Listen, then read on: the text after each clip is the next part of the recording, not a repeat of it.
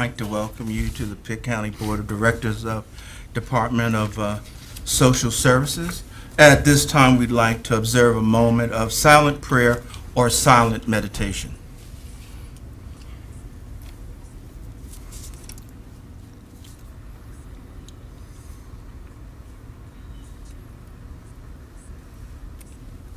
Okay.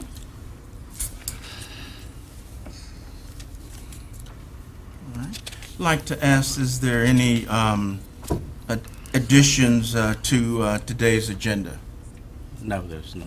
Uh, I move that we accept the agenda as printed. Se- Okay, Second. okay, we'll have a motion on the floor, and that's been seconded to accept today's agenda. Okay. Uh, I'd like to ask everyone if there's any um, changes to last week's uh, minutes.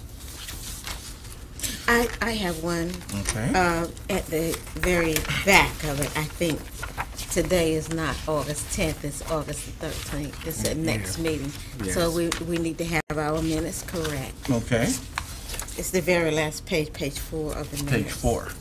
Yeah, director's report.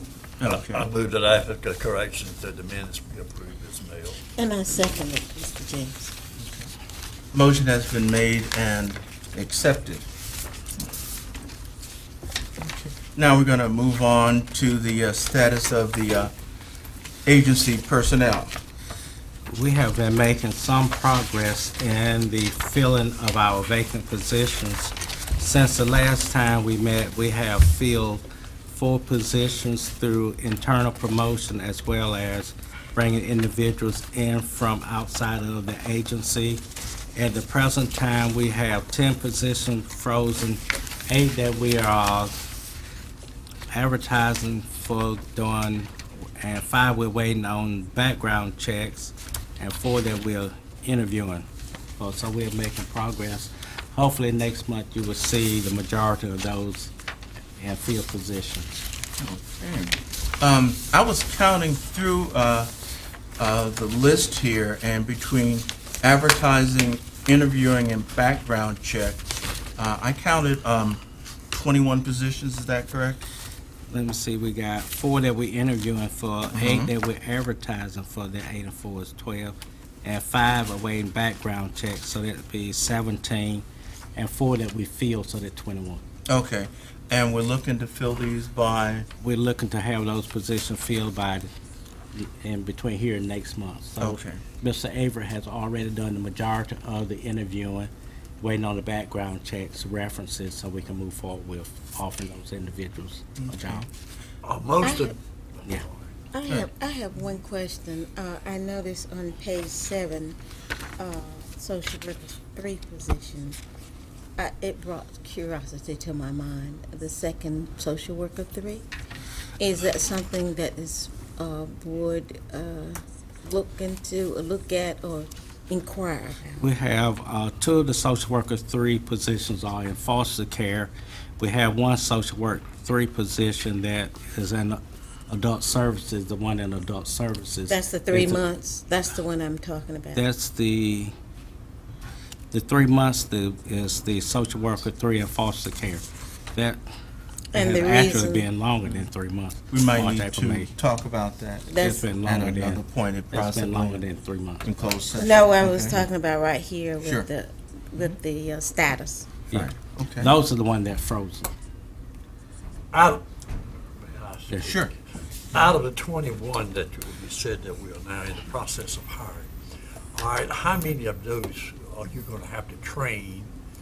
How many of them have already received the training, uh, graduates of East Carolina or some other area? Ryan, I can, I can speak to the ones, the eight that I'm working with, um, in the food and nutrition services area, five, uh, of the five, one has ex- many years of experience in food and nutrition services, and the other four will require training.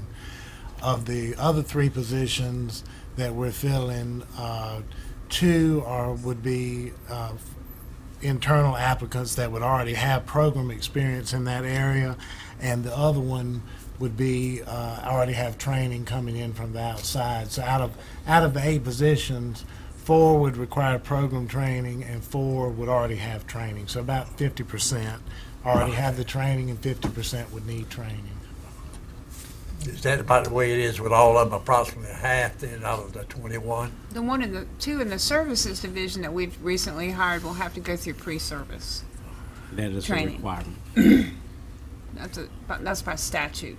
And these are all people, or residents of this county prior to hiring or bringing in, coming in? Just curious. Some are residents, some live in another county. Okay. Mr. Mayor? How many of these roughly of the 21 might be filled, and Brian, I think you might have just answered that, might be filled by people, I guess what you might say, being either transferred or promoted into it? Um, Of the eight that we filled, um, four, three of them are internal and five are being hired from the outside.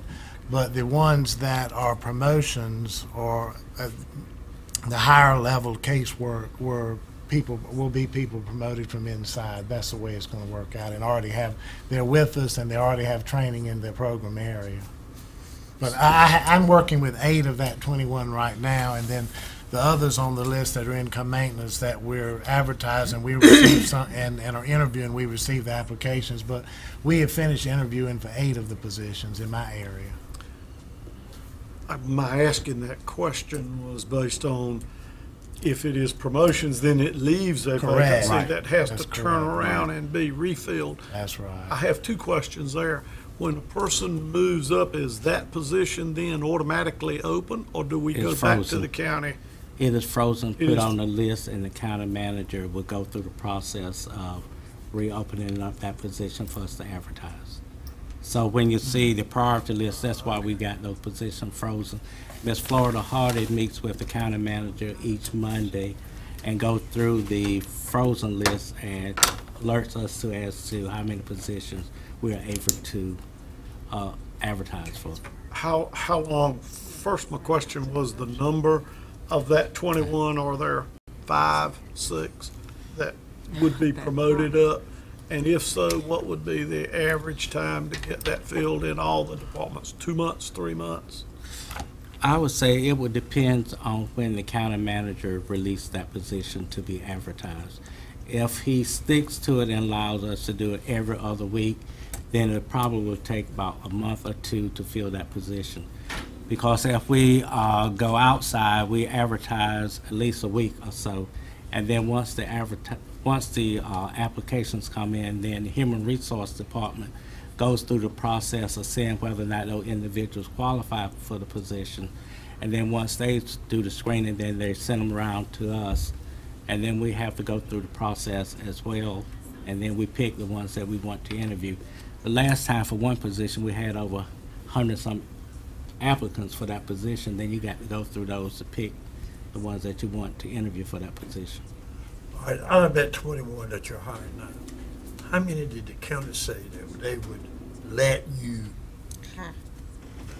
rehire or to fill Oh. the positions? Those are twenty-one that he has given us permission. So to- that's all, that would be all that you have, and to fill these other positions that are going to come open that has been suggested here could take longer then. It could take longer, uh, he could release two or three Right every off the other hand. week.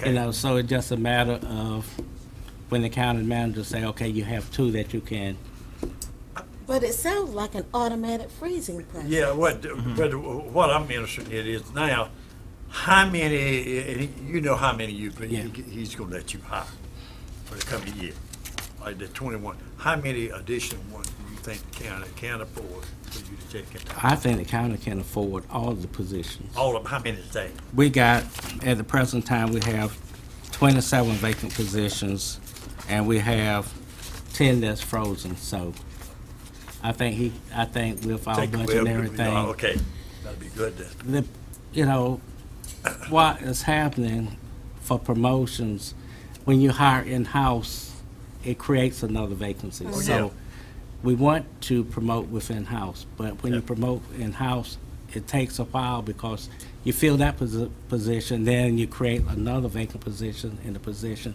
that the person just left. So that position goes on the vacancy report as being frozen until the county manager releases that.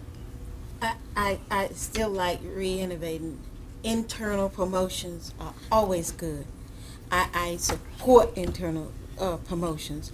I feel very strong about internal promotions. And because it keeps the morale high and it gives people good motivation to do a good job for you. That's the way I look at it.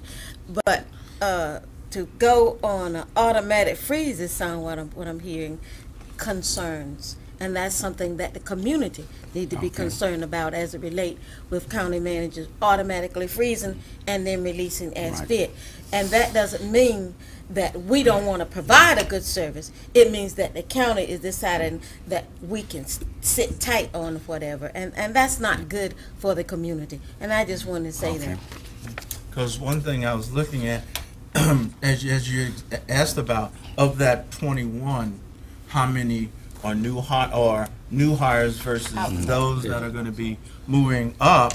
And so what we're going to be doing, we're going to be in a kind of a difficult situation in a sense that we're going to be training new people and then we're going to have vacancies from those internal people that um, got promoted.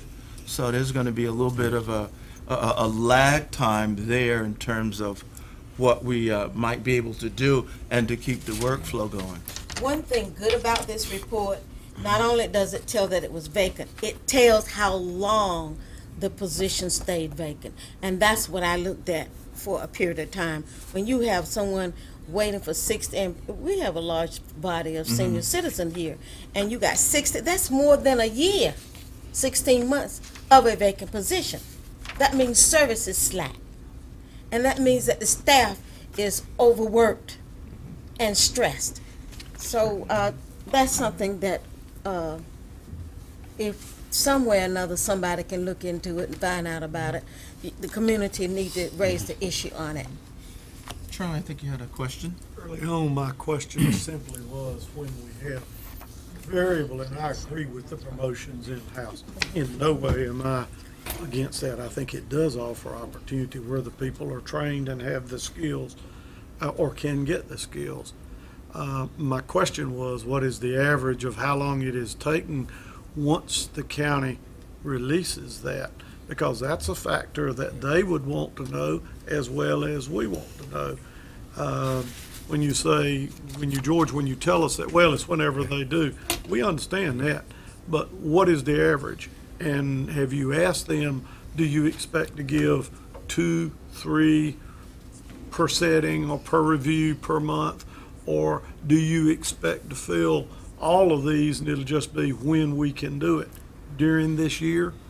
And that time frame that it takes to get somebody in tells you how big, if we say we got twenty-one spots, and I'm just picking figures, we, we only filled twelve of them, because eight of them came from within. Well, then we really didn't have, we really didn't gain twenty-one spots. So far as the public and the service rendered, we gained that. So hence, my question, how long should it take to fill that second wave? I would say say- from the time that the county manager released it, he released the twenty-one position July the first. So what, we're dealing with the first wave of the twenty-one position that were, were reduced, that were frozen, unfrozen July the first. So you can see that from July the first, we have filled four positions since our last board meeting. I think last month we had a few that we filled as well. I don't know how, what it was last month. So we have made some progress in the last two months, filling those positions. But from the date that the positions become available to advertise, then we move, it has to be done on a Tuesday to get to the newspaper. So we got those time factors involved in getting it to the newspaper. And then once it goes to the newspaper, it stays there for five days before we get those applications coming in. And once the applications come in, then HR has to go through the process of screening, saying that these positions are approved, and we feel that these people qualify for the position. So you can look at anywhere from ten to fifteen days before we even get the first list of people that we can look at, That you pull out. pull out. Well, Mr. Perry, have you thought about, all right, the city county is gonna release twenty-one employees So go on hire the twenty-one and put them to work if you've got a job for them to do. Then do your promotion and then you won't, you, you don't lose the It- personnel. It doesn't work that way because you have to have a position to put someone Well, into. I, I thought you were that many short, so you wouldn't But- have this position. We got those twenty-one positions, but people have to apply for those positions. And we don't just say, okay, we're gonna move you. You have to apply, just like anyone from the outside, you have to apply for that position. And then you have to be interviewed for that position. So it's the same process internally. Yeah. See, intern, I thought intern, Okay. See, some positions, we, internal promotions, you can just move up. I, I think what we're not seeing is the fact that you, do you have the authority to internally promote? Yes. yeah, we can, we can either advertise our And then position advertise the lower internally. part. We can advertise our pot- position internally, which means just for Pitt County DSS employees. Or we can advertise for Pitt County total, or we can go outside. As for some positions, like lead workers, supervisors, we advertise those internally among Pitt County DSS employees. And then for the other positions, then we go outside. We just make those a general thing for anyone within that can apply for those positions. But for supervisory positions and lead worker positions, we try to go in-house first and just do an internal recruitment.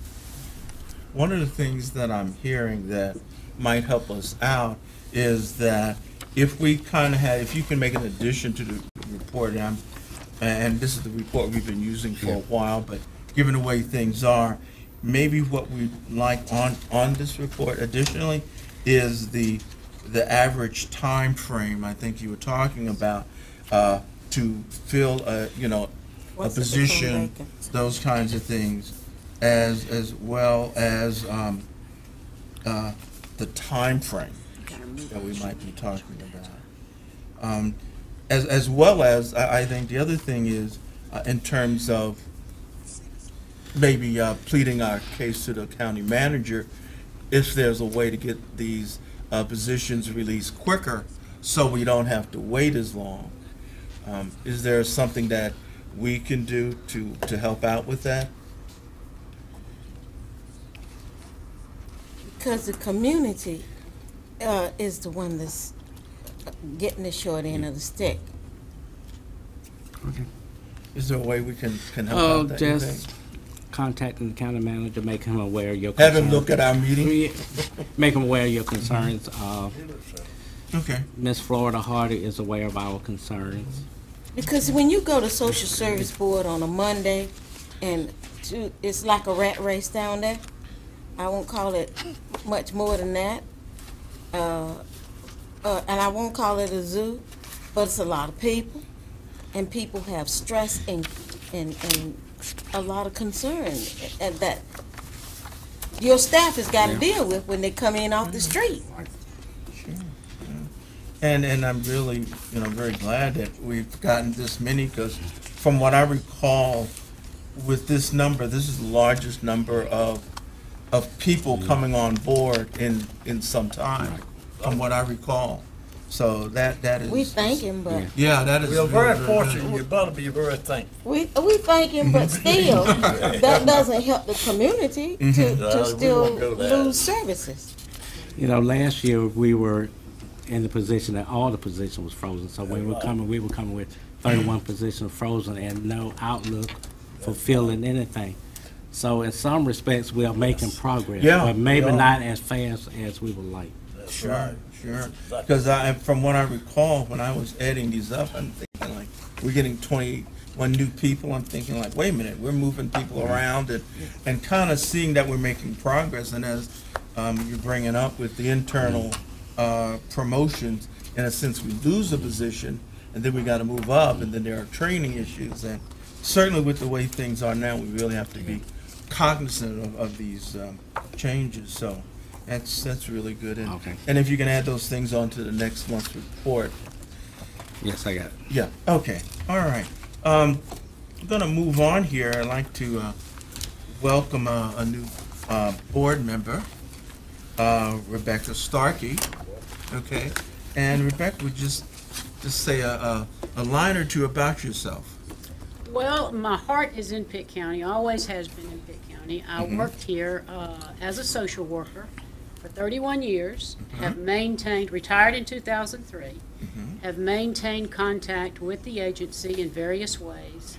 This is where my heart is, and if I, I'd consider it a total privilege to be invited to be a part of this board.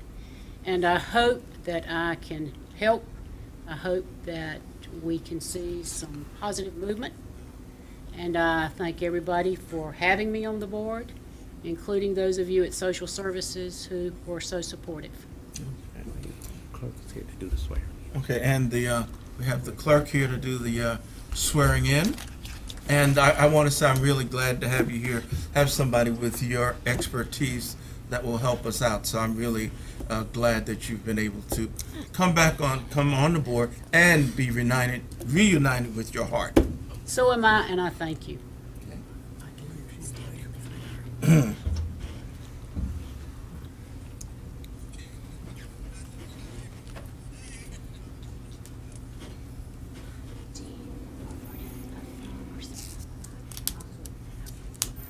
May we proceed? Uh, yes, you may. Thank you very much. Thank you for having me. All right, Ms. Starkey, if you would, um, hold the Bible in your left hand and raise your right hand, okay, and just say I do at the end. Do you, Rebecca Starkey, solemnly swear that you will support and maintain the constitutional laws of the United States and the constitutional laws of North Carolina not inconsistent herewith, and that you will faithfully discharge your duties as your office as a member of the Pitt County Board of Social Services, so help you God? Thank you. Let me be the first to congratulate you. Thank you, ladies. Uh, Thank you Thank you. much. Gina, sign something for me. I guess that makes her official now. Makes her official. And now she has the, all the rights and privileges thereof.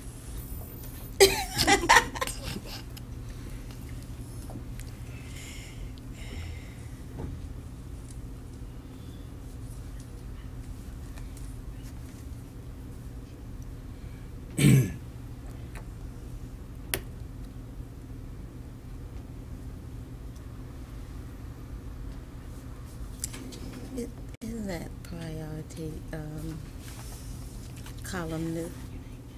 Which one? All right, she's official now. Oh, okay. Oh, I feel so much better now. Thank you. Now I can say what I mean and mean what I say, right? Oh, okay. There is a trial period.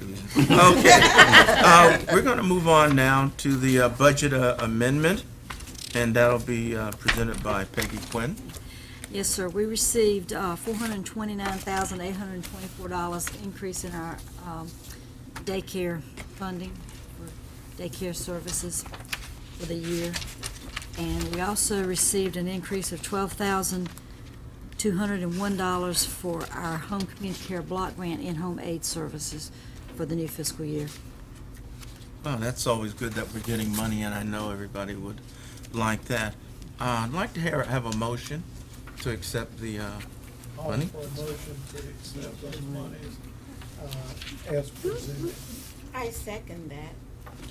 Motion's been made and seconded, uh, and we will accept the money. Thank you very much for that.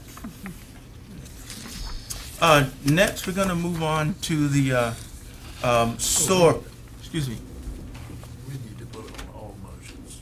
Oh, I thought we had, uh, sorry about that. Okay, All right, we had the motion and Yeah. we have a second. okay. So I guess it would Call be the all in question. favor. Yeah, All in favor? Aye. Aye. Okay, thank you for that. And opposed. Any opposed? Okay. Didn't think anybody would be opposed to free money. Okay. Now, we're gonna, uh, have a report from the uh, SOAR program. Oh, um, thank you so much for um, asking me to come. My name is Paulette White. I'm the project manager for the 10 year plan to end chronic homelessness here in Pitt County. And um, three years ago, uh, partnership with the Department of Social Services, we began a program in Pitt County called SOAR. And I'm going to give you a little bit of information about SOAR and then give you some updates about how that program is going. So what SOAR stands for is SSI, SSDI, Outreach, Access, and Recovery.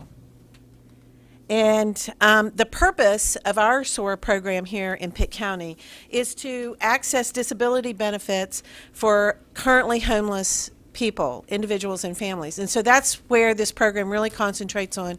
We identify people who are homeless in our community who have a disability, and then we have specially trained caseworkers who work with those homeless individuals to help them make that application. And our goal is to um, to increase the number of applications that we submit and to also uh, decrease the average time that it takes between submittal and um, an initial determination on that application. And, and I didn't put it in here, but the other goal we have is to increase the number of successful applications. But um, uh, so, so um, I wanted you to know too a little bit more about SOAR. It's really a national program that was developed from the Department of Health and Human Services. Um, it, it, started about 10 years ago uh, in Philadelphia and has grown and, and, and um, uh, moved out into all of the states. Um, and this is just a map of the state of North Carolina that shows where the active areas are in North Carolina that actually have SOAR caseworkers. And I hope that you see that Pitt County is one of those counties that has an active SOAR program. Um, we have four trained caseworkers, and I'll, I'll get into that a little bit more with you. But just so that you you can see that that Pitt County is really um, participating and and actually um, has considered a leader in the state of North Carolina in doing a program like this in a rural community. Um, just last month, I was invited to uh, to give a presentation about our SOAR program at a national conference in D.C. Um, uh, and and it was received very well there. So I, I just wanted to applaud Pitt County for uh, having the initiative. Okay, let's go. Are we gonna? uh, okay. How do we get? Sorry. Did I do something? Oh, there it is. Maybe just, there it goes. Okay, thank you. I must have hit something.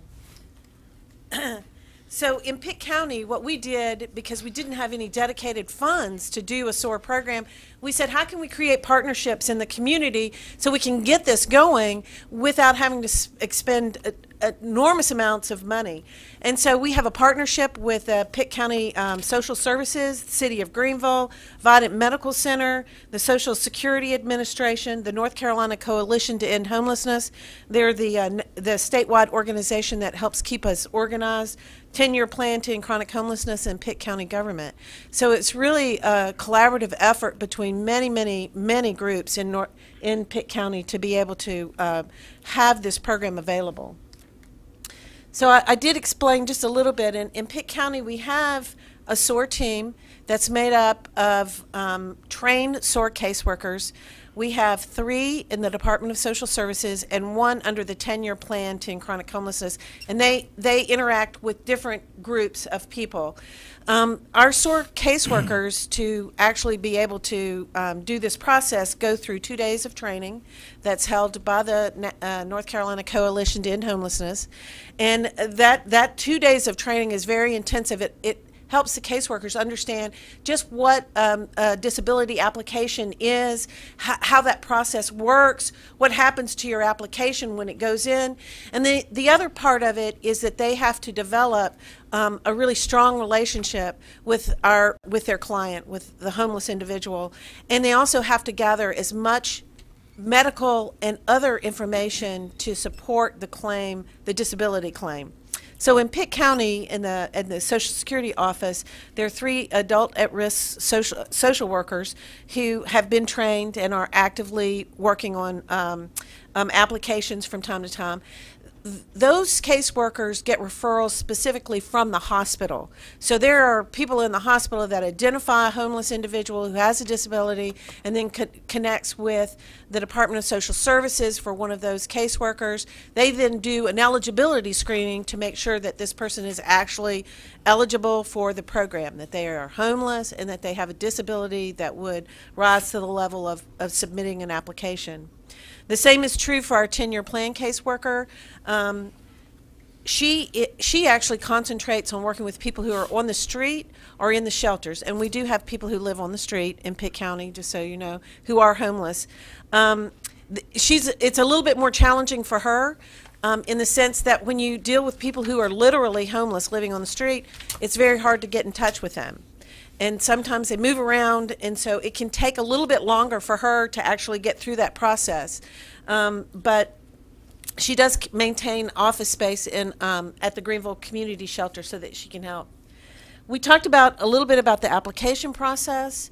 It takes some somewhere between 30 and 40 hours to do a complete um, application using the SOAR method. And, and the, I put 1696, if you're not familiar with um, an application, one of the, one of the key parts of a, a SOAR application is that caseworker becomes the representative at the Social Security office for that client. And again, when you're working with people who are homeless, you, lose contact with them. The Social Security office can lose contact with them. They don't have an address to mail any information to them. So having a 1696 representative means that that information can get to the client. The, those caseworkers will pick up the client, take them to whatever office visits or appointments they have, and they can also talk to the Social Security office about where the application is, what, what process they're going through. The other key part about a SOAR, ca- um, uh, a SOAR application is what we call um, this detailed medical summary report. SOAR caseworkers collect as much information, medical and otherwise, on these clients. Um, I had um, worked with, we were working with one client where we had to go all the way back to elementary school records so that we can we could we could show the line the history line of that person and how what what their mental state did while they were in school in elementary school. So that is that is why it takes so long to do these applications. The other thing that they do when they gather that information is is they write a summary report. They take all that medical and otherwise information and and create a narrative so that the person at social security who's reviewing that record can get a, a good understanding of who that person is what their disability is and what what that disability has done in terms of their ability to function um, in a job or in life. And it, that is really probably the key part of um, those SOAR uh, uh, applications. The last part is, again, those SOAR applications, the medical summary, are actually submitted to the physician or the uh, medical professional, and they review that summary report and then sign off on it. So again, it's this, it's, and that can take a lot of legwork where you're running around trying to get in touch with a doctor. It can be, it can be really time consuming, but it's key to being able to um, get a successful approval rates on, on our applications we use the for our referral there again that we have this national program that developed a screening tool that we use in Pitt County. Um, we also again we are identifying target groups so um, we actually are talking you know in the shelter uh, working with people. We have a couple of uh, nonprofit groups that actually minister to the people on the street. So that's another way we get referrals so that these individuals groups know who we're trying to target with this program. And that's where um, we're able to get some pretty good um, referrals. So again, because we participate with the state, we um, also get to see, um, they, they help us with our results. And I think that we included this in your packet, but I just want to show you again. When um, uh, we talk about usable um, outcomes, every uh, SOAR application that we do, our caseworkers complete an outcome report, and that outcome report is, is, is submitted to the state, and then they actually help us figure out our numbers. So um, we've had 51 ap- outcome reports submitted um, to the state. We've got a, uh, we've had 27 of those um, applications that we've done have been approved. We've had 23 denied. It takes 76 days for us to get an initial determination.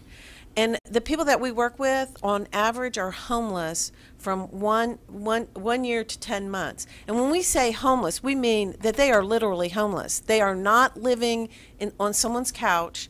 They are, they're either on the street or they're um, in a shelter. But we, we consider those folks to be literally homeless. Our approval rate is a little low, but I think one of the things that we've tried to do is um, is is make the program accessible. Um, 54% is a little low. We'd like to see that more up with the state level, which is 80%. But we're so we're working on our uh, referral process and how we're screening people. But the other important number, when you look at this and you say we've gotten 27 applications approved, what that means is that's 27 people now have some income that they can use to keep themselves housed, buy food, pay their utility bills. All of those things are really important. And so that's the other thing that we track is um, how much income has come back to Pitt County because we have done this work. And so because those individuals are receiving um, disability um, it, it has meant over two hundred and forty-two thousand dollars to the county in the two years that we've been, that we've been doing this. Well, three. So one of the things that um, I, I wanted to just let you know about is what we're calling the next steps or lessons we've learned with this program. I've talked a little bit about our referral process, so we, we're in the process of reevaluating that referral process to make sure that we're connecting with our clients as early as possible. Um, one of the problems we've had is not getting a notice early enough, and so they've been at the shelter long, and then they there's a time limit that you can stay at the shelter. It's 10 months. And so if it takes us four months to get the approval, it could take another couple of months to actually move the person into an apartment, get them into the appropriate place. So what we want to do is try to connect at an even earlier stage with our clients so that, um, that we, we can um, have better housing results. Um, we want to also uh, um, develop a, a slightly different outcome tracking so that we want to uh, we want to focus on what happens to the folks after they get their disability. Are they staying housed? Are they are they getting in, uh, into primary health care? How are we how are we working through those processes with our clients? And and that sort of rolls into the very last piece is that whole um, um, primary care, we saw that as being a real problem as we were working on applications is having individuals with no income and they're homeless. It's very difficult to get them into primary care and they cycle in and out of our emergency room. So um, we submitted a grant to Vidant, um, a foundation, and they have just awarded the program $5,000 that we can use to um, establish primary medical care for our SOAR clients as they're going through that SOAR process. So that will help with both medical, dental, and pharmaceuticals, which is really an important piece for us. Um, so, do are there any questions? Yes, sir. Pays the four employees that you are hiring? Um, Where's the salary coming from? this the the social worker the the, so, the caseworker that works under my umbrella we had a grant from uh, the city of greenville a cdbg grant and that pays her salary the department of social services just th- this is just a, a an additional um, uh, quality piece that those caseworkers um, provide in the instance that we've identified someone that they could work with That's one. Who pays the other three? no, the three other caseworkers three- at the Department of Social Services, so they're just doing that within their, within their role as, as a social worker. So the county pays that proportion in the Yes. state of these. Who checks on them to make sure you said they're working out of the social security office? No, No, they, no, no, they no. work here, Mr. James. No. They work here? Yeah. Uh, Well, you said, I thought. I I'm sorry, No. I did, I know that, I didn't make it real clear. Th- This is just, um, um, they're, uh, adult at-risk caseworkers, the three that I listed there are the, uh, they're employees of Pitt County, and they do their, they have their own job. This is an additional thing that they can offer to, um, adults at risk who get referred to them. All right, so this is not a full-time job? No, no, no, This no. is just a part-time? It's not even a part-time job. It's Oh, just a so it's- service that they're providing. Oh, well, Yeah, it's not, it's not, because there's not, well, you saw the number, there's not, there's not a need to have a full-time that's person doing that, yeah. Um, I do, the person that works under the ten-year plan works probably, um, one quarter time, if, if that's what you wanna, wanna think about it. She only works when she has a client to work with. Well, what part with the VA hospital, you know, a lot of these people are veterans, they say. Some of them are, yeah. Yeah, uh, what part with the, when we get this, uh, veteran hospital here, and I know that's gonna be a great plus for Right. people east North Carolina. Will that play a part in something like talking about It could. Um, we already work real, you know, the VA has a homeless counselor Oh, yeah. here, and, and so she actually, Pitt County does actually have a program for homeless vets. And so if there wasn't, most veterans would be applying to the VA for any kind of disability if it's, if it's service related. So if it's not service related, they could, they could refer them over to us. If, if we thought that it was appropriate to move forward with a SOAR, with a, with a disability application, Type of yes. program. Mm-hmm. Yes, ma'am. Do y'all choose the clients or do the clients request the service? The clients request the service, and we screen them to make sure that they are eligible for it. Some people have already put in an application, they don't quite understand, so we don't take people, we don't take clients like that. Um, Some clients, after you do an initial screening, they're not going to be good candidates for disability. So we say, well, you could move to a lawyer, but we're not gonna, we're not gonna move forward with that application because we don't think that it would be successful. But yeah. Who does that screening? Who do, the caseworkers. We use that um, national screening tool that, from um, the SOAR in um, the state of North Carolina. Okay, I, like Mr. James, thought that you meant that there were two workers at Social Security. Oh, oh, That's what no. I thought. So, so if you don't mind, explain that. Okay, I think about social worker. Yeah. Um, okay, there are five people. There, there are four caseworkers. There are four trained, SOAR trained caseworkers in Pitt County. Okay, They are not associated with a depart, with a social security office at all. but are with DSS. Three are with DSS and one are with the 10-year plan in the planning department. Okay, where, where is she located physically? Physically, she's located at the community, um, the Greenville Community Shelter. And that person is paid for a grant through the city of Green, uh, Greenville City, um, Community Block Grant Funds. Okay, and when the process is initiated, who continues to follow to maintain the goal satisfaction? For the program To or for the assess- To assess the, that the goal has been achieved for each individual person. The caseworker, the person who's working on that application. Okay, Does, is, it- does that make sense? uh, yes. Okay. Okay, Um, one other question. Um, this medical grant, okay, how, what determines which of these people receive the medical or the dental help? And how much of that grant, how much each one is entitled to? Um, we are working that process out right now. What, um, if a client, the way we had, we had addressed it with the, the grant was if we have taken on a SOAR client, there, there are, we're working on, we're actively working on a social security application, and that person needs some type of medical follow-up, we're, we will, we have worked it out with Bernstein Clinic, that we can refer them to Bernstein Clinic, they can see them as a client, we'll pay the co-pays, which is twenty dollars a client.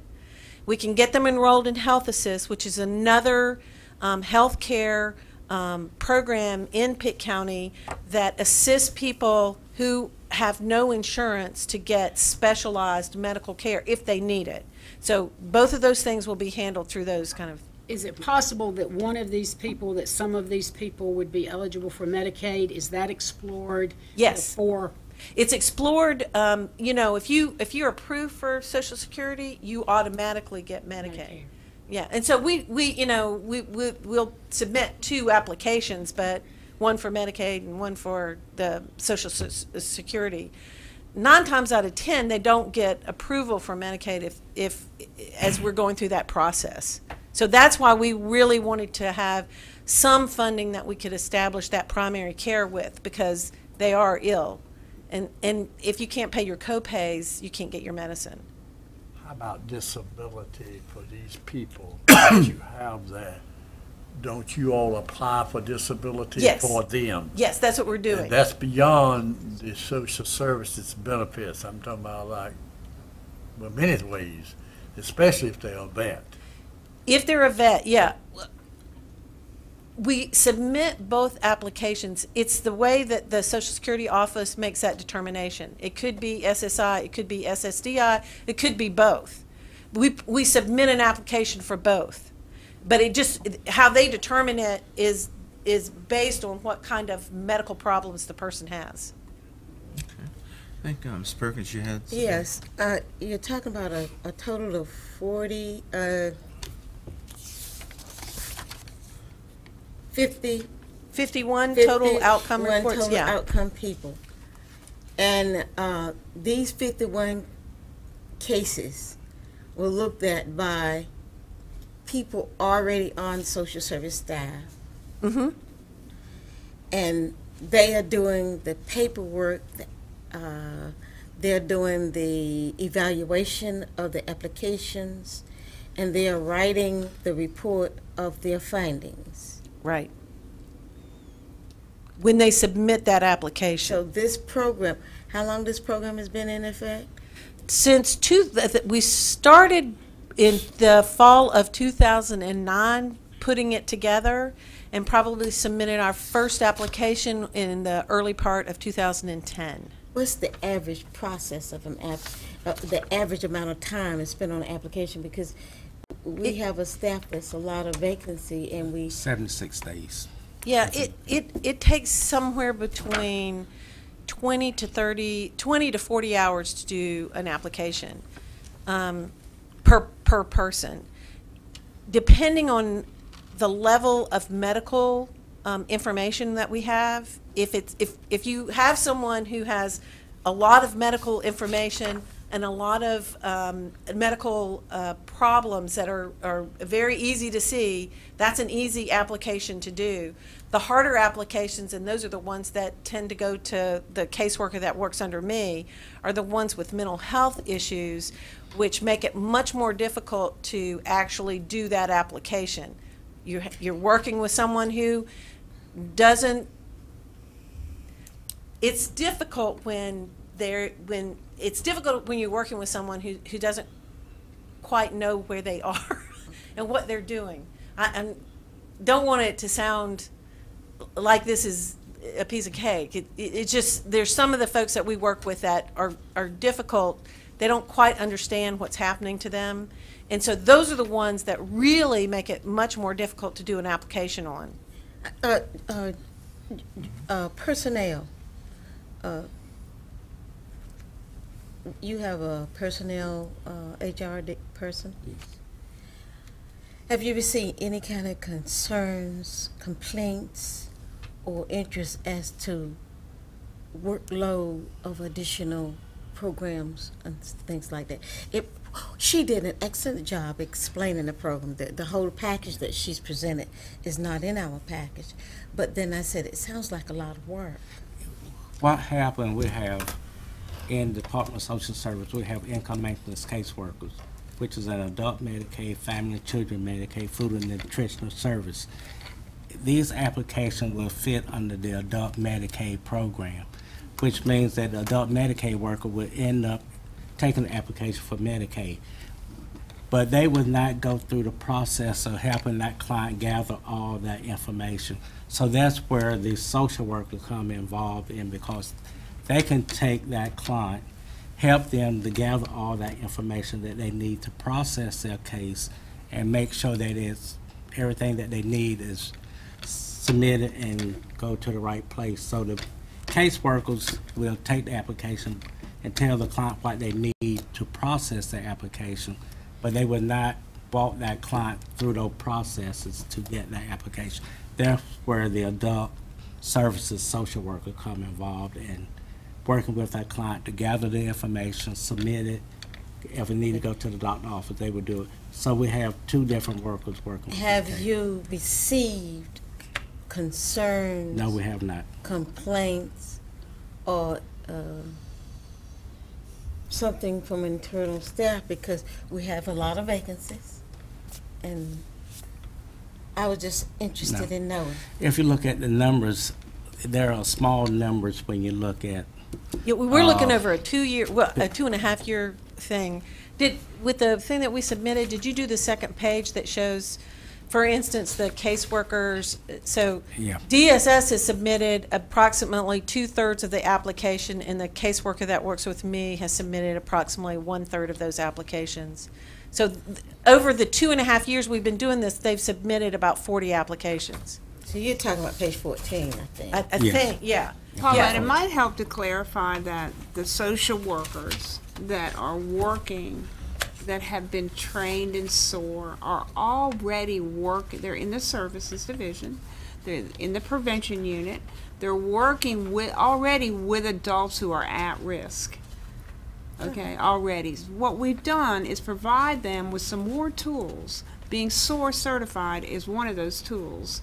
Because when they're, when referrals come into this agency to work with an adult at risk Of, of losing their home or a medical condition, this gives them an opportunity to have another tool because they've been trained in in what that whole social security system looks like in terms of that whole disability process. And they are trained in order to provide what is absolutely needed up front because we've learned a lot about that system and the average time it takes usually a person applying, what is two years? It's two Plus? to three years, and and again, I think what you're, when when you understand the process that the Social Security office goes through, it, it's very complicated. Very complicated. And if you provide all of that good information up front and in a in a fashion that the Social Security office can use it, they can make a determination quickly about whether this person really does rise to the level of that kind of disability. And so, um, and again, having that little bit of income can really make a difference in helping someone get Well, and housed it's very or stay difficult housed or. prior to this and even today because this is, you know, we would love to grow this even further. You can imagine the resources that the social workers are trying to dig up every single day to help an adult stay in an apartment, buy medications, pay a utility bill. We no longer have general assistance funds, so getting income into their hands certainly um, lightens the load of our resources in terms of what's needed to sustain people with no income in this community. So, And, and I think that one of the nice things about the way, I mean, it's kind of a crazy structure in some, some respects, but, but because the DSS only takes referrals from the hospital, that really limits the number of applications that they really take. we're not, capa- we don't have the capacity have the to grow it bigger than that right now. So, you know, it was a partnership with the hospital. It was certainly to look at, instead of having a homeless person in a bed for we- days, weeks, and months, this was one of those solutions in our, that we looked at in our 10-year plan and homelessness that certainly uh, was a better use of our local resources than to keep somebody housed in a bed in the hospital um, that nobody was paying for. I also think that um, one of the things that we tried to do when we put this together, and again, that I think that's one of the reasons why um, rural communities were looking at what Pitt County did, is doing, is that first of all, by doing it, by actually get, getting out there and trying to do something, we've now got information about how to do this. We now have information on these individuals. We're going back now and looking at what kind of cost savings we, that the hospital received because we have done this service. So with that kind of information, we can now go back and, and find appropriate um, places to apply for funding. Maybe we can apply for funding to get a full-time caseworker. But, but, but we have that data to show now. This is what we can do. Th- We know this works. We know this is good for people. um, and these are the results. So we have something to be able to, to um, uh, And I think the hospitals, by giving, uh, by giving us the five thousand dollar grant, certainly is supporting this effort that we're involved in. I've, I've been involved in mental health, a lot of us have, for many, many years. And we used to deal, you know, with it a great deal. Mhm. And you haven't mentioned mental health. As to the, the hospital, I know that, they, I know what the hospital wants, they want money. Face it. Well- And, but how, what part? And we're spending just bukus of money in mental health. Mhm. I get complaints about what they're doing and and what costing us. What, how are they involved with you? It looks like to me, you all ought to be working with them hand in hand to help these people out. That they, and they are supposed to be working with them too, by the way. Well, and they are. Um, it, it's not as defined a partnership like we do, like the list of folks that I do, but every one of our clients, we try to get them in. If, if mental illness is the issue, we, we have, we try to get them into the appropriate mental health provider. We do have the nonprofit, the one nonprofit mental health provider who can, who, who's been really good at seeing folks who don't, who don't have any money. Yeah. Um, but yeah, it can be a challenge. But but the caseworker has to interact with that mental health provider, whoever it is, because they're providing the information that we're using on that application. They are getting a tremendous, you know, this, a tremendous amount of money to take in to serve these people. This is the reason that, like myself, I was so much against, you know, the, the state taking over, because I thought we could do our business better. But I, I, I think we need to be working very closely on something like this with the mental health people. Because they've got the expertise now Yeah. also to do this, to, to ha- help you handle these Well- situations. And I know we've got a lot of them. Yeah, and, you- and you know, um, East Carolina Behavioral Health LME had just is hiring. They are hiring two SOAR caseworkers, but they will cover 19 counties. So they're not they're not just for Pitt yeah, County, but yeah. they do recognize Wow. this is an important piece for that, and and they have established two Horses. two know. two um, employees. I know but we could talk about this whole. yeah, So Mel, you no, had- We're not gonna solve this problem. I know that. You've been had your hand up for a minute.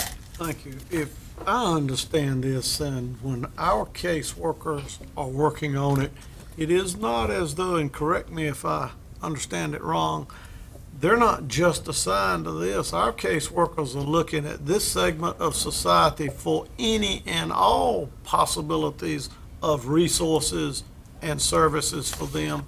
And this is just one added piece that some may qualify. Is that correct? Thank you. Um, one of the things I was looking at, um, from the first slide, and you had, uh, number of counties there, was that five counties that have the SOAR program, or was it? There are more was it counties that have the SOAR program. There's about 19 counties, but 19. there, but the through the North Carolina Coalition, they were showing which counties had active SOAR um, caseworkers, th- like we do. Um, um, I think Mecklenburg, uh, Wake County. There was one in the The lower part. line Yeah. that Mhm. Yeah, um, One of, um, Wilmington, um, um, down what is that? New Brunswick, Yeah. Orange County. yeah, Orange what- County. Uh-huh. What I was Buncombe impressed about, County. uh, what I was looking at is that, so with a hundred counties in, um, the state, so there's only roughly only a fifth of those counties have active SOAR Less than caseworkers. SOAR caseworkers. So right. that's, uh, so that's very good that we're one of those counties that are doing that because as I see homelessness, i it's throughout the, um, the state. And I'm really glad that you're, you're taking that on. And I'm really glad that we're clarifying the kinds of things that, um, the, um, caseworkers are doing because we were looking at, um, a total of fifty-one reports received. And that was with four caseworkers. That's right. And, and, and so, and I think we were looking at, everybody was saying you got fifty-one cases filled, and uh, you had four caseworkers. I think that's what, I'm glad you clar- clarified that.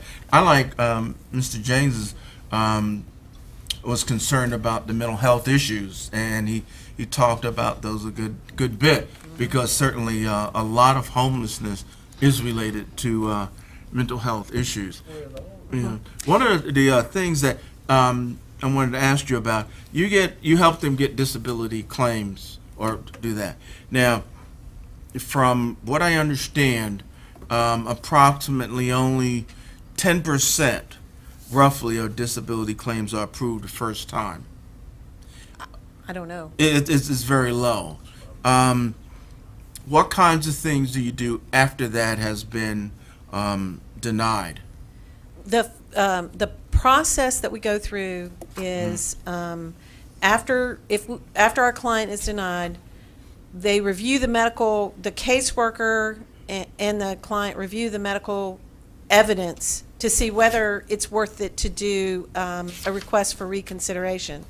And if you do, and all of this is a time thing, so if you do a request for reconsideration and can provide some additional medical um, information that might sway the decision, that will be the next step. Once that's been done, um, and they're denied for a second time, generally speaking, we refer the client off to a lawyer if they want to continue, because we're not, at that point, when you get into the appeals process, our caseworkers don't have the time and, nor the expertise to deal with it at And, that and that's point. what I was concerned about, um, because with the high number of people that get, um, denied that first time, um, many of them do have to seek, um, legal redress. Legal To redress, get yeah. some, some, uh, help, um, on that.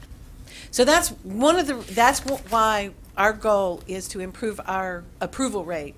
Because if we can get our, if we can, if we can get our applications done to the degree that they are approved the first time out, you know, within four months, that person has, th- then it's settled. We don't have to go through any of the other pieces. Sure. So again, that's, That's good. One of the things I like is that um, bringing in that kind of money into the county, and that means these people are getting food, shelter, all those kinds of things, as well as raising their self-esteem. Mm-hmm. And with having some resources, they're certainly going to feel better about themselves, and that's going to to help out tremendously. Okay. Was there any more discussion on this? I have one more question. yes, sir.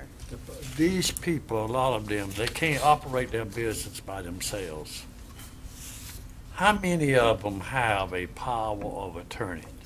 Attorney, Do you know what I'm talking about? I, I know what you're talking about. I don't believe any of the people that we have worked with have any, I mean, they're their own power of attorney. But they're not capable, evidently, in many cases, not talking about a mean thing, but I know what you mean. There's some, mentally, some of them probably should, but they don't. Um, And- n- no, and they that's the don't. only way. I think that's one way that we can help them a great deal to have somebody there to help them. Because they, they, they really do need help, and let's face it, uh, it's terrible. Um, I was gonna speak to that.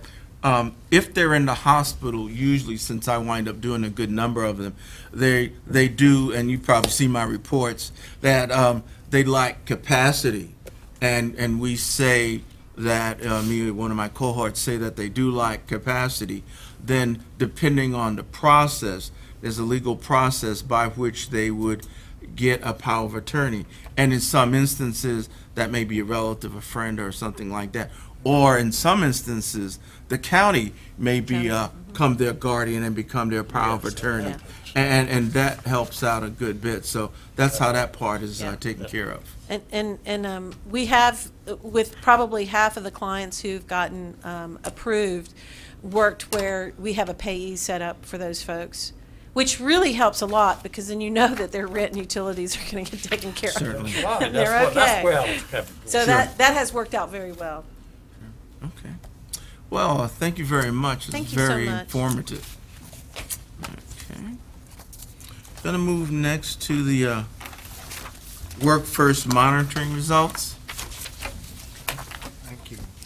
Um, The results from our recent Work First monitoring conducted by the state are in your board packet on pages 15 through 22.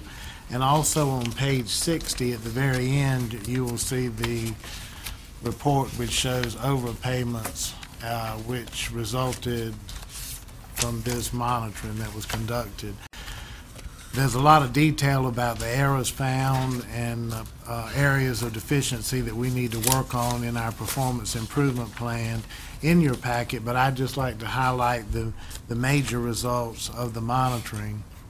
The monitoring consisted of 10 Work First Family Assistance cases, which is the eligibility um, component of Work First, 10 Work First Employment Services cases, which is the social work component of the Work First program, and three Work First Services cases to low-income families who are at or below 200% of poverty. So 23 cases were reviewed.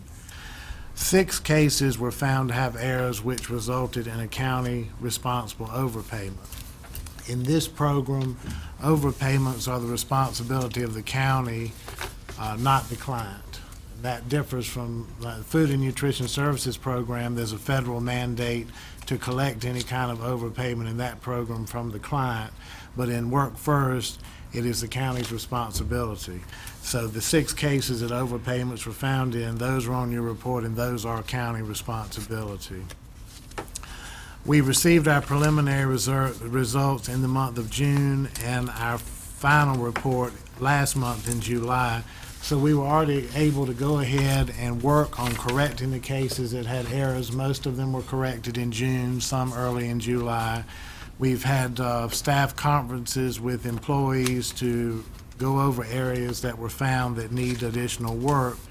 And we're including in our performance improvement plan the ongoing monitoring of those areas in addition to our routine monitoring to ensure that the errors found are not continuing errors in this program.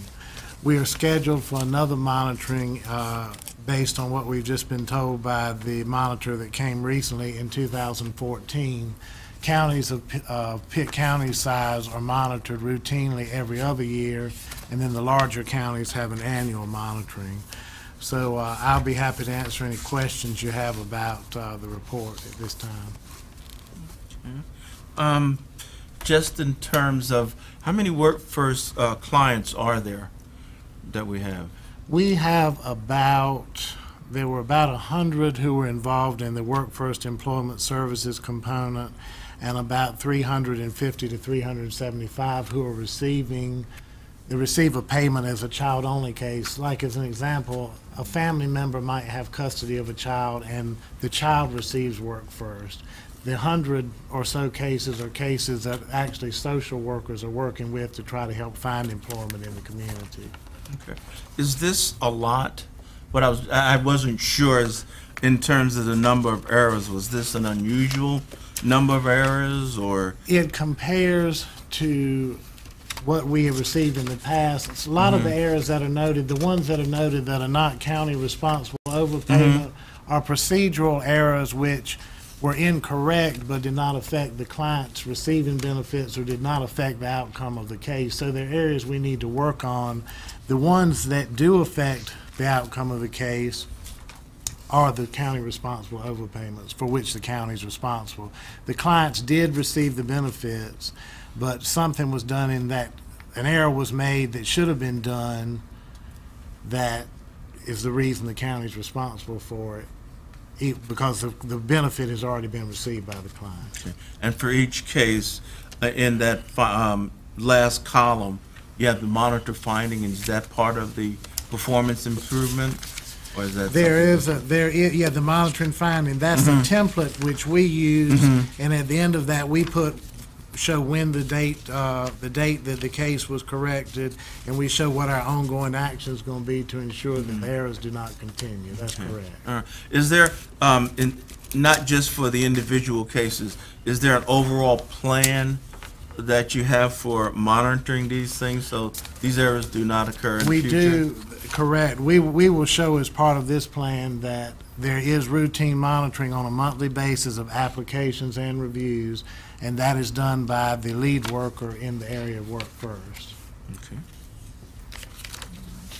And we will be uh, working on our Work First unit as well as our Medicaid unit, where we will have one unit responsible for taking and processing application, and then the other unit will be responsible for doing the reviews.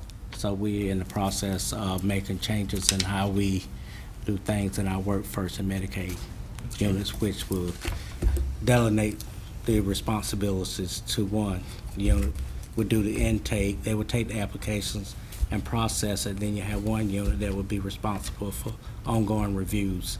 So the responsibilities will shift, and the lead workers will be responsible for second party in the reviews and making sure that we follow in policy.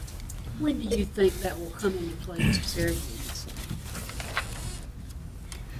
We- We're, we're looking, we're already doing some training with both sides, with the Work First workers and the Medicaid workers. So we've already formed the units, but they're still doing their program that they have the expertise in. So as soon as we can get training, then we'll start integrating aspects of each program with the workers in an intake processing unit and in the review unit. We feel that if the, since we have enough number-wise with the two programs combined, that if the workers can focus just on the applications, intake and processing, or just on the review, we can get more efficiency with that and better accuracy since they're not trying to try to do both functions. Ballpark figure, six months? I would say no more than six months, that we should have everything together. Is Work First still a program that helps clients who owns uh, social service, receiving social service, work their way out of the process into mainstream uh, everyday life? Yes. Then, uh, in the educational process, at what point are your clients receiving uh, how to handle funds, how to make decisions, and how to work their, at what point? I'm familiar with them when they got near what they call it short time. They're gonna lose their benefit, they're gonna be sh- shoved out anyway, and their benefits are gonna run out. I'm, I'm familiar with that part, but there should have been some educational process prior to that short-term time. Yes, and So we, when is that? And, and I, I would just say, you know, that's a great question, and if you, if you could, if we could table that a little bit, because I think in the next month or so, we're gonna come back to you, because we're doing some reorganization with Work First. Um, and would like to share that with you when we get finished with that reorganization, if that would be okay. I, uh, that is a concern. Uh, uh, Oh, yes, I will wait. Okay. I will wait. That's a- I, I'm very much interested, they know, they've got this politics now, and that's one of the things that's, that's one of the things that's hot, and hot issue right now. I think very good. to- to If we explain could, yeah. Sure. that. Very good. Now, I, I think my point is along with Mary's, um, uh, in, in a sense, um, how will it, how has it, and how will, um, the vacants, how have the va- vacancies affected some of these errors that we have? in our work first family, in our work first family assistant unit, we have one position that we gave up, but the vacancy did not have anything to do with this. This was more uh, centered around policy. When you look at the policy, you got a client that receiving assistance. It said that you have to have a health, health check on the child, and it's that's a requirement. Oh, okay. And if you don't have that requirement, then the case is in there, in error. So it's more of following the policy, making sure that you got the necessary paper in the record. So that these error, not, or errors, so that this division is fully staffed in terms of doing this kind of monitoring, Right. taking care of these things? Okay. Yeah. Could- When you, when you do that report, could you do me a favor and give me the actual counts? Uh, the cases, the number of clients, rather than just percentages? Um, y- You know what I'm Sure, saying? because, yeah, Because, it sure would, uh, would be glad to, yeah. Yeah. That would help me to keep from asking certain. Okay, we'll make sure we have the numbers as opposed to the Thank you. percentage.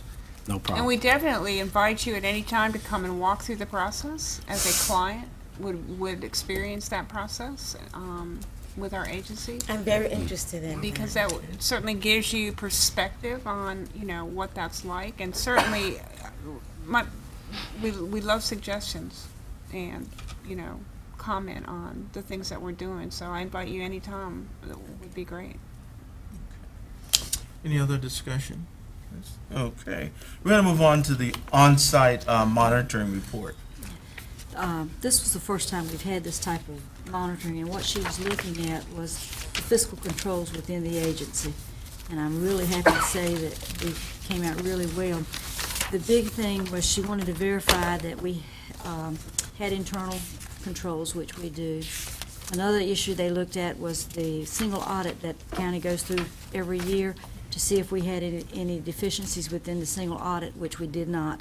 When I say we, I mean the whole Department of Social Services. We, we passed uh, the single audit through the fiscal type things. And then she spent a lot of time on um, the report that we turn into the state every year to get the revenues back into the county. We call it the 1571 report. She was looking to see that we were charging uh, staff time to the proper uh, coding for the service that they were providing. She made sure that uh, our general ledger, everything that we wrote checks for to pay bills to, that it balanced back to what we were asking the state to reimburse us for each, uh, each month. And all of that was correct, with the exception of, we had two um, issues that we had not billed completely to get the revenue back that we should have. The first one was, we were paying two hundred and fifty dollars a month for a pro- professional contract. And the manual used to say that you couldn't bill that to get reimbursed, and I did, I was not aware that the manual had been changed. So we now are, we can now bill for this, uh, professional services, and we were able to go back and bill the whole year's worth, so, so we got that revenue back, ha- basically fifty percent of two hundred and fifty dollars for twelve months. And the other thing that uh, we had not done was, we have what we call a cost allocation plan that is done by a company outside of the, the county every year, and they break down the costs, we call them 310, 311 costs, which are really operating costs that go across all of the, the county, all of the services that we provide. The 310 are general administrative type things, and the 311 is, can go to a program. Well, this past year, when they did the cost allocation plan, they also broke out uh, 4D cost. It gave us a a lump sum of money that we could bill so much for each month to get reimbursed for that. And we had not done that. We were billing the whole amount we were eligible to bill, but we were were not billing the portion that was for 4D, under 4D code. We were doing it under a different code, and so we weren't getting the the full 67% back. So we were able to make that correction, and we get that money back. It'll actually came in this, this, this month. So we didn't lose any money, and we didn't have any errors, and everything else that she looked at, if you'll look through, she'll see, you'll see that there was no deficiencies throughout the whole thing. And, um, I think they'll be doing this once a year, and every county will be going, undergoing this, this scrutiny each, one time a year from now on. I, I, I'm assuming this is a sign of the times with uh, less money to go around, and this is the first time that it's being done. It probably has a lot to do with that. Now, the way we used to be monitored was, of course, we had the single audit, which audits the whole, the whole county. But we also had what we called a local business liaison, who would come in ever so often and look at our procedures and see what we were doing. But they were also the person that we called and asked questions if we had concerns on how to do something, needed to know. And they decided, I think the feds are the ones that made this decision, that it might not be so kosher for the people that was telling us how to do it, also be the same people that come in and look at us, so they separated. Makes sense. So they separated the duties, Oh. and so, um, and the lady that's doing it, she's, she's worked in, in the fiscal arena for many years, so, uh, I was real pleased with the audit, or the monitoring, as we call it, wasn't really an audit this Okay. time. Do we pay for this? No, it's, it's the state, the state. Okay. State This does it. person works for the state, and they, they take care of them. Any other? discussion? Okay, thank you very much. Don't go anywhere, because I see you're up next, uh, again. Uh, Goals and objectives. Okay. Um, As you can see on my, our goals, we had for the administrative that, to spend ninety percent of the funding that we were allocated and to uh, get collections up to eighty-six point sixty, no, excuse me, ninety-five percent was our annual goal for that. We did spend the ninety percent of the expenditure of the money that we had approved, but we only collected eighty-six point sixty percent. And part of the reason for that, not re- reaching the ninety-five percent goal, is the way the state sends our revenues back, which uh, we spend the money this month, but we don't get the money back until the next month. And so the last month of the year, the expenditures are in the county's this year's books, but the revenue for it comes back in this month, and we had, didn't have it by the end of the fiscal year. So we basically, I think we did what we, we met our goal. It just, it doesn't show it here because of the way the money comes back.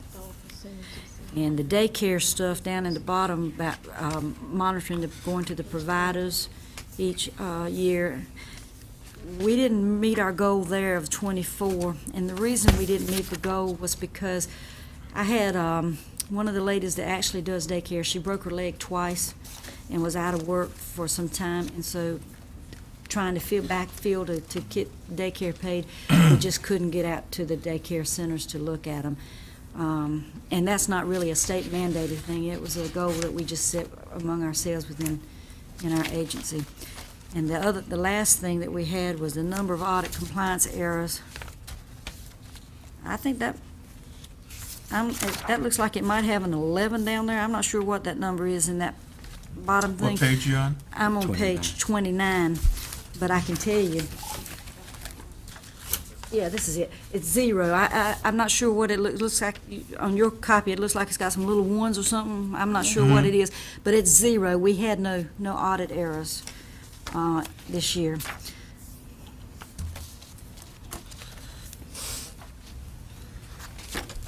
Here, here's one that's printed out of the machine that you can't, that's not, and it shows a zero. Oh, Because it looks like an eleven on Yeah. here. Well, when I Looks saw like- that, I said, a wait a minute, I can't like deal with 11. that. yeah. But here you can see this one, that ha- must have happened when we copied it on the copier and it didn't print through clear.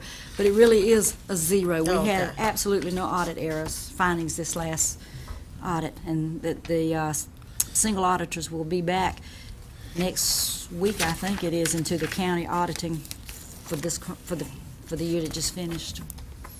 And, and you were saying some of the goals that you set are these state goals. We set them. You set mm-hmm. mm-hmm. them.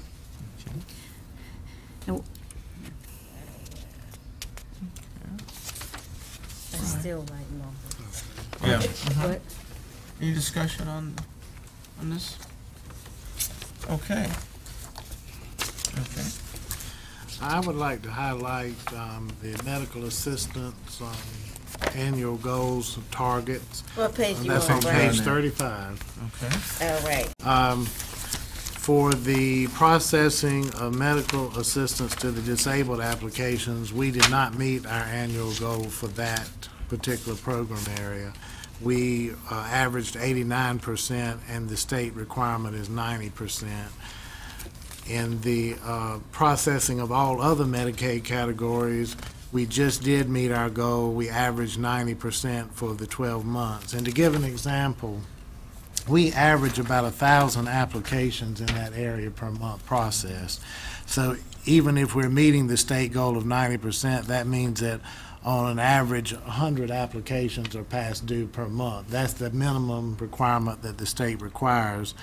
And uh, the staff have worked very hard to see that we meet the state goal uh, and, and are working toward meeting the state goal to get the applications approved timely, to get the medical assistance benefits to clients.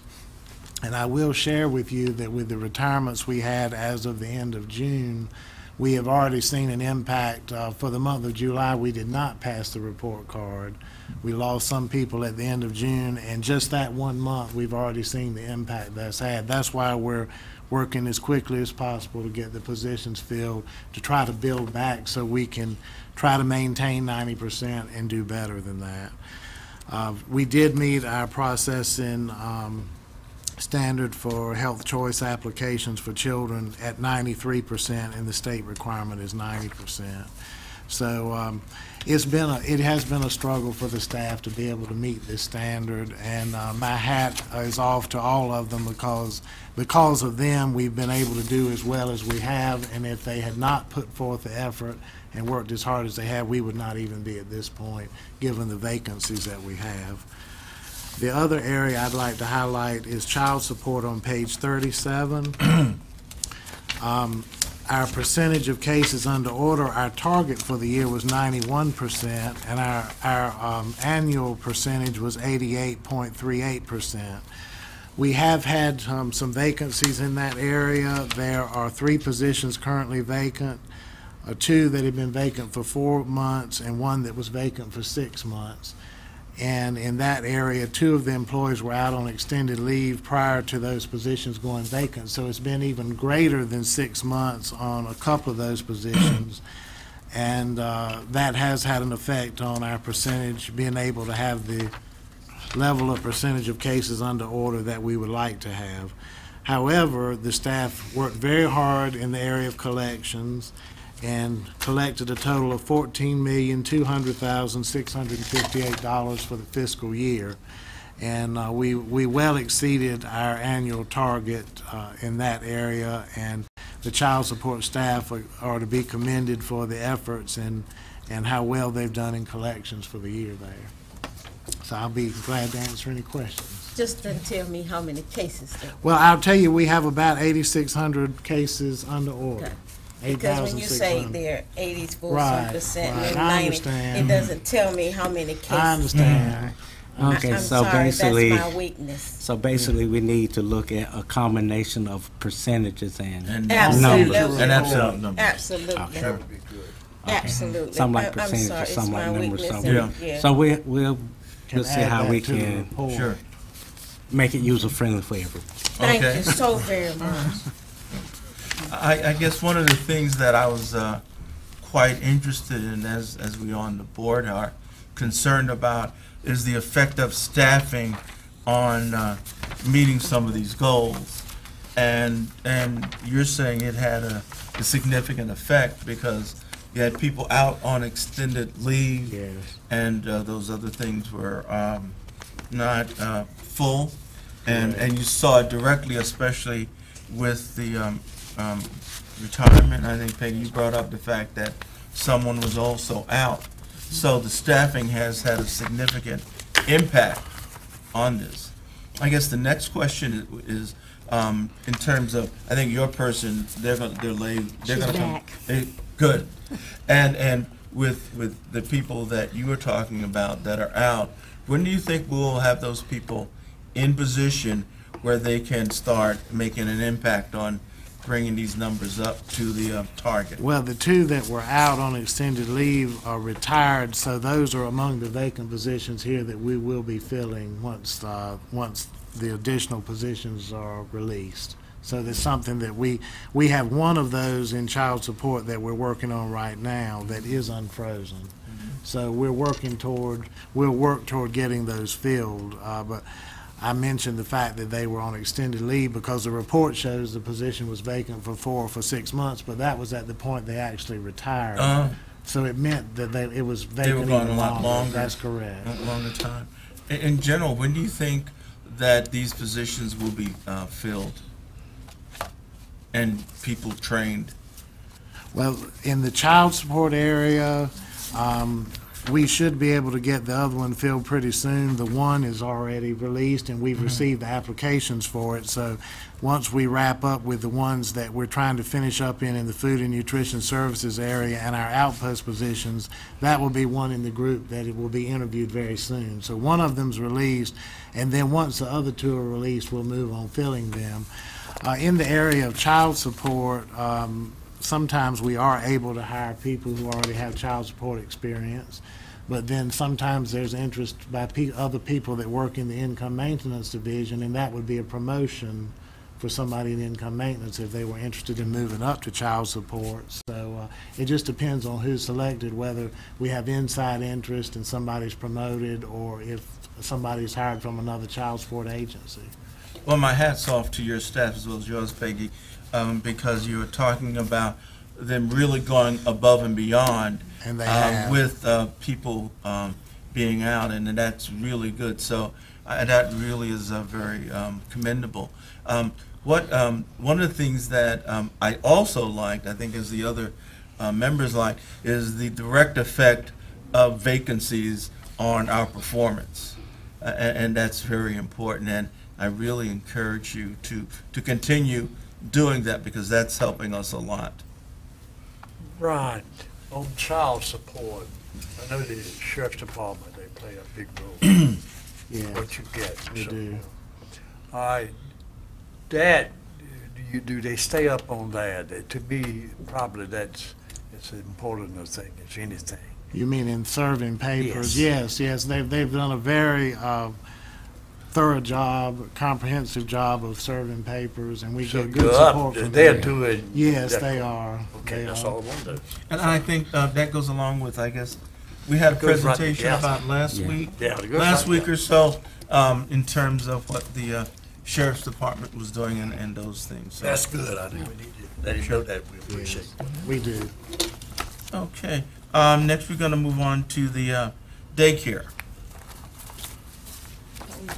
I'm gonna- Oh, oh, I'm We sorry, don't Margaret. finish I'm just gonna, Okay. as Brian did, point out a couple areas, and, and I know you're anxious to get in daycare, um, Yeah, yeah, well, Matt's out. maybe.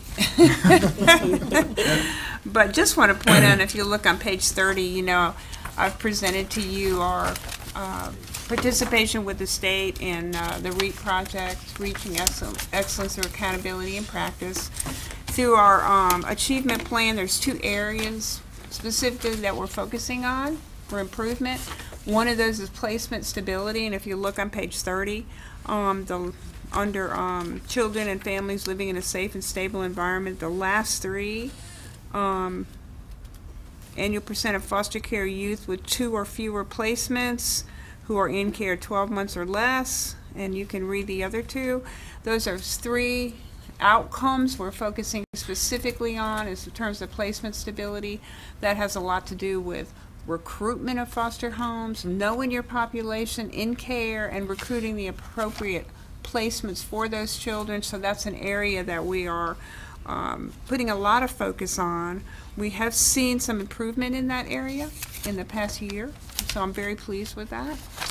And if you'll turn the page, the other area, again, big focus for us is annual percent of youth who achieve permanency through reunification within 12 months.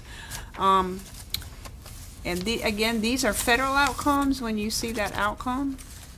So by the last quarter, we had uh, improved up to 47.37% from our 33.33%. And again, it's just not all about numbers. It's, these formulas are rather cal- complicated, to say the least, um, and how the state calculates these outcomes also. But we are seeing some great progress. In that same area, the, I wanted to point out to you, too, the annual percent of uh, youth who have aged out, who received a high school diploma or GED and enrolled in post-secondary education. Um, I would, I am just so proud of the work that they have done in this What area, and a page is that on? hundred percent. Page I'm on the same page, page thirty-one, Mhm. up at the top. Youth and children in DSS Okay. custody living in a safe and permanent home. Do you see it? Mhm. Annual percent. Um, it was a hundred percent. You can't do better than that. That was wonderful. How many children we talking about? Um, we ended, right now, in care, we have eight, about eighty-eight children in care. Of course, kids have come and gone through the year, but ending the year, the kids that were, um, the teens that we work with, uh, again, those that aged out of the program, either received a high school diploma, GED, or went to college. So I commend, you know, uh, our, especially our Links program and our workers for putting such a focus on, um, these outcomes for their kids. But you, but you know what I'm saying? You know how many there were. At, looking at this, I have the foggiest. We will work on getting. I will get you some numbers. I think also next month we are planning on, if you remember correctly, last year we did a written end of the year report. And I mm-hmm. believe we are working on that right now and plan to give you that in next month at the board meeting. And that's where you're gonna see your numbers associated with this. So, but we'll combine those two. Mm-hmm. And we will work on, when we do our goals and objectives for the upcoming fiscal year, I'm getting to take that, some like percentages and some like the raw Well, some people openly admit their weaknesses, Okay. and and uh, others can can can see the crystal ball. So we will work on making sure that we have what necessary for you to evaluate what we're talking about. Thank you. I think when you have actual numbers on important services and cases, it is more identifiable for most board people as to how many families, how many individuals. Yes. Yes, but I think are one of the affected. reasons that we slid in this direction is because when we present numbers, they're one-dimensional, and you go, but this doesn't tell us what your outcomes are. I think what she's asking And then, for but is I think a both. combination of both, mm-hmm. definitely. Both is what she's Totally asking agree. So we will Can- have, Can't you read it better when you know how many families served and how many children we're talking about? Say one hundred percent. Are you talking about five children? we will have both. So, I mean, you know. Fixing to get that, I think we're fixing to get that in both ways. Yeah, I think so. I think wonderful? that's Isn't coming that in. Wonderful. We could add on that. That'll help. yeah. Yeah, I guess, um, again, um, the, the same question in terms of the, the staffing and, um, just looking at the goals that you've made and goal, as well as goals that you, you missed. How did staffing affect, uh, reaching these goals? Did, what kinds of things, I, I think you've talked some about how you're looking at reaching these goals, and will that be in your, um, Yes. end of the, end of the year? Okay. I- I'm really glad about the uh, kids that are getting their degrees now, post-secondary education. Okay. All right, now we're gonna go to the um, director's report. Oh, we got, uh, Ms. Dixon got one thing about daycare. Oh, yeah. And that was included on your back page. It was not attached to your This separate- packet, but it was included in your, uh, Stigma Jew. Thing that you. I was gonna finish in the, in, with the, this report. Um, if- and if you look on page thirty-two, um, wanted to, you to see, um, under the, uh, objective of annual percent of subsidized funding, we, at the end of the year, s- uh, spent one hundred percent of our uh, allocation. And I wanted to also just point out to you, because you won't hear this report anymore, if you remember our homeless prevention and rapid rehousing program, that has ended. Our three years was up, will be- is up this month, but our money is, we- we spent out July, so that million dollar grant is gone. Um, eighty-five percent, and I will get the number of families for you next month. are um, stably housed as a result of help from that program. Um, in front of you, there's a sheet called subsidized childcare. Put it in front of you, the board meeting. I, this is just, I wanted just to give you some information at this point, um, where our program stands. As Mr. Perry said, the, you will see attached to your board package is the, uh, County waiting list policy, okay? This policy is, it talks about our waiting list. Um, we have implemented a waiting list to limit and or reduce subsidy service whenever the following occurs. Available funding for subsidy services will not meet the demand of services. Available funding for staff to administer the program is not sufficient, or the number of available childcare slots is insufficient to meet the demand for services. If you look at the sheet I gave you, you can see what the funding was for 2011-12. Seven million, six hundred fifty-six thousand, two hundred and sixty-six dollars. Always get thrown off when I get up into the millions. I don't have to Even the hundred. Um, That was our allocation between regular subsidy and Smart Start funding last year.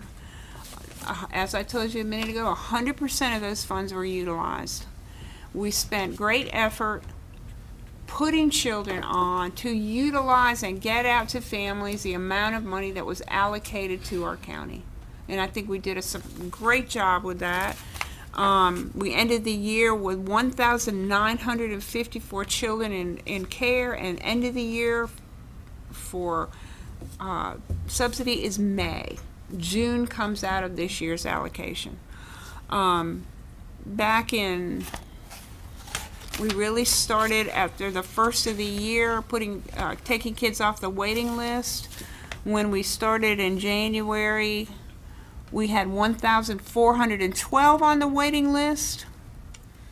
As of the end of may we had 923 however this brings us into the year on the high side for the first quarter with the number of children. And as you can see from our funding for this year, we, our allocation is reduced by two hundred and thirteen thousand, two hundred and six dollars. Okay? Just want to share with you and bring this to your attention today because we're looking at several strategies, looking at our data, looking at some of the options that we have um, to reduce our spending over this next year.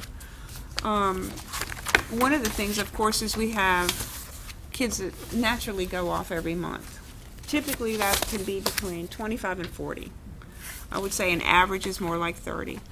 Um, our expenditures are high for July because all of our after-school children are full-time care. Okay, but they will be returning to school. Uh, some may continue to use after-school care, some may not. We also have 242 children who will be starting kindergarten.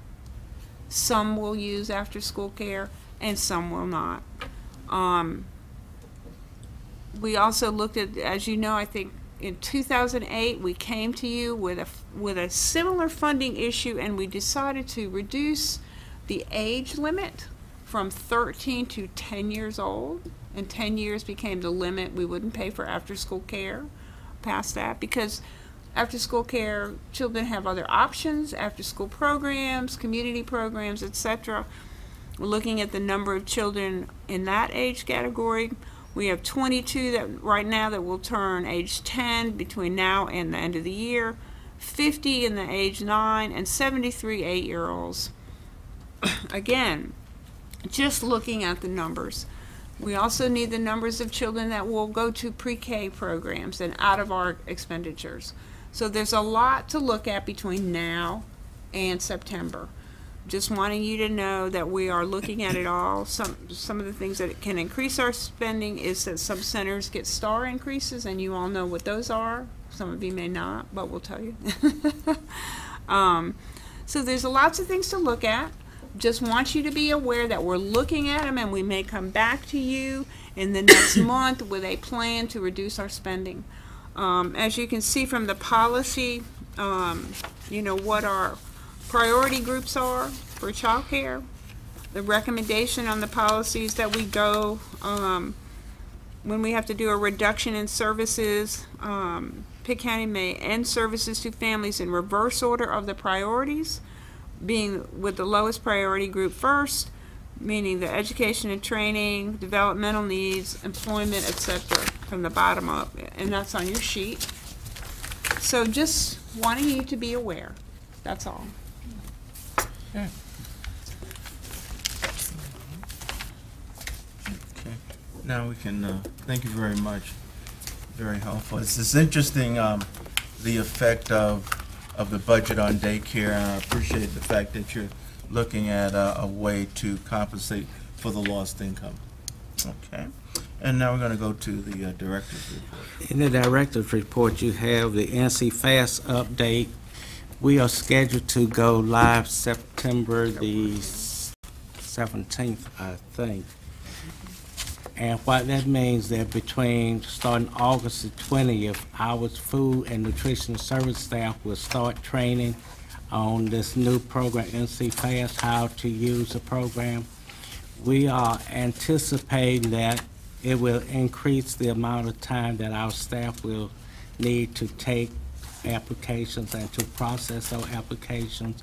So we will have information posted in our lobbies to make our clients aware that there will be a longer time to process and to take your application because it's involved our staff learning a new program, being able to key all that information into this new system and then to process those cases. So where you were able to bring the information in today, if you waited till the last minute to bring in the information that you need to process your case, then our staff was able to go in and go ahead and process that case. But beginning in September, that would not be the norm because our staff would be learning a new system of how to input information. All that information will have to be put in from scratch.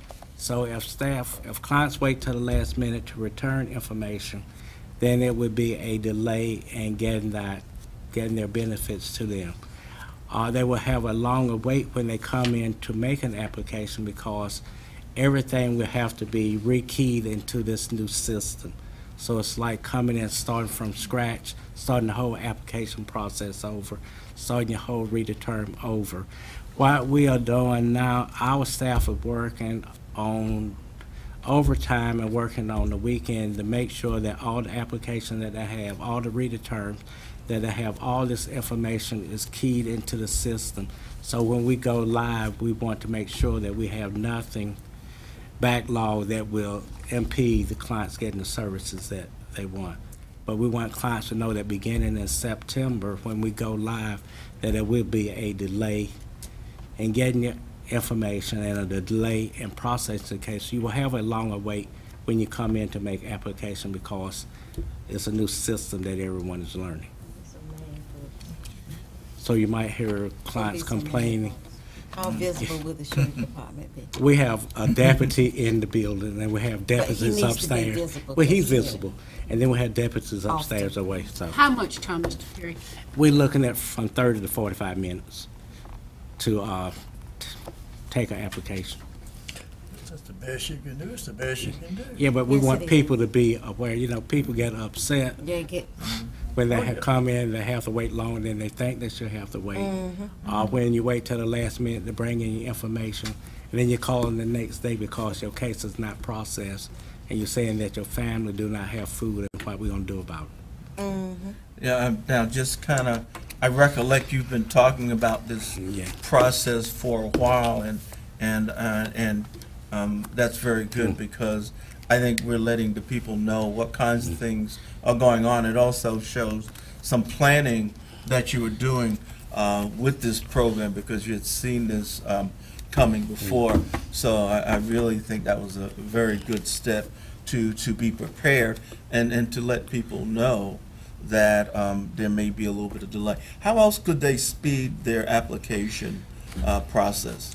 They could speed once we allow teleclient what information that they Mhm. need, if they go ahead and bring that information in and not wait till the last day. And, and the last day would usually Be, be it's be the thirtieth day of of the the date that you need to bring it So, in. so if they get the information in quicker, Then um, we can it'll work it work. faster. Yeah, and before, it wasn't uh, as big of an issue, but now it's gonna be Gonna- more It of an will be an issue. issue, Okay. because everything have to be keyed Okay. over. It's starting new. Oh, okay. Well. And our next board meeting will be on September the eleventh as opposed to September the tenth. So we'll meet on Tuesday as opposed to Monday, because the commissioners meet on that Monday. we Monday. got it right this time. Yes, I just check the minutes and make sure it's correct in the minutes. something. Oh, yeah. Oh, Let's move on with the agenda. Let's move on Um, with the agenda. At this time, at this time, uh, see, do you need to read that first, or do we make, need to make a motion first? I need to read it first. Okay. Okay. North Carolina General Statute one forty-three three eighteen point eleven regarding closed sessions. Section A, permitted purposes, is the policy of the state that closed sessions shall be held only when required to permit a public body to act in the public interest as permitted in this section. A public body may hold a closed section and exclude the public only when a closed session is required. Also, item number one, to prevent the disclosure of information that is privileged or confidential pursuant to the law of this state or of the United States, or not considered a public record within the meaning of Chapter 132 of the general statutes. Mr. Chairman, I move that we go into closed session. Second. Motion's been made to go into uh, closed session. All in favor, say aye. Aye.